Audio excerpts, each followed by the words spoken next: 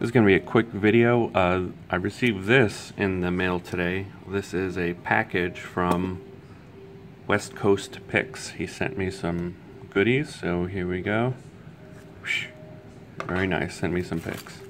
And uh, they were wrapped up very nicely in here. I just squished them back on the top, uh, so he did a great job uh, wrapping these up. And the case itself is kind of funny because uh, he lives in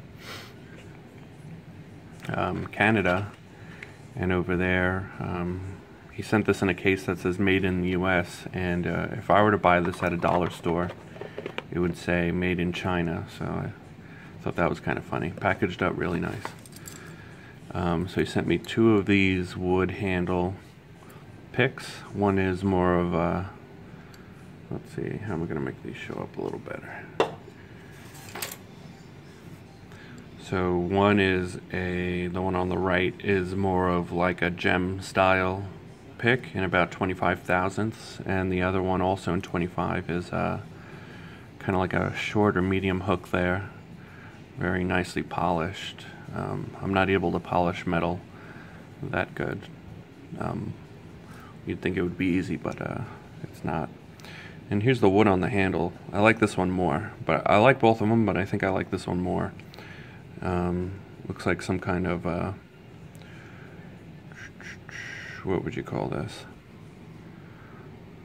Uh, it's made out of like a big growth on the side of a tree. Um, uh, burled wood. Um, so I actually saw a show about them not too long ago, but uh, the wood grain is really nice. He polished these up really, really well.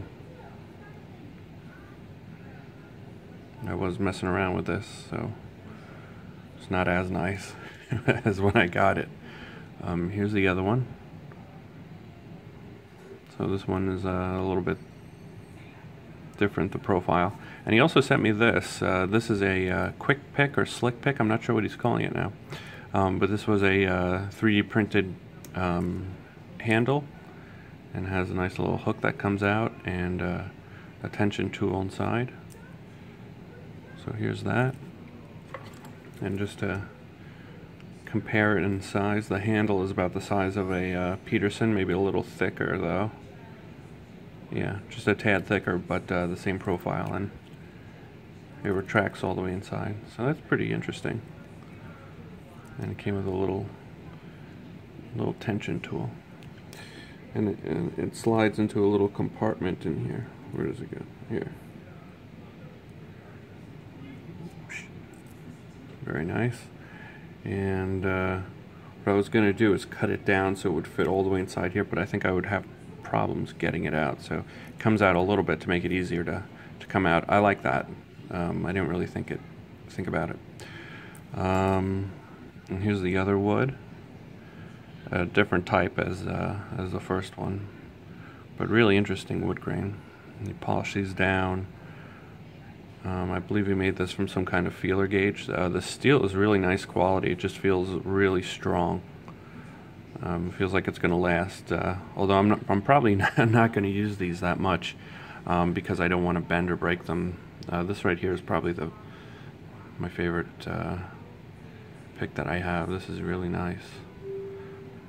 Um, all the picks that I've tried to make never came out nearly as good as this. Uh, even the profile came out really nice. Uh, and again, I've tried and uh, didn't come out this good. Alright, so thanks again, West Coast Picks. And uh, if you didn't check out his channel, um, I'll put a link in the description. Uh, you should definitely swing by. And he has some kind of tutorials too. I, I didn't sit through the whole things, but uh, he has a couple videos on how to do some of these yourself uh, if you're handy, which I'm not. Uh, so you could try it yourself. All right, thanks for watching and happy picking.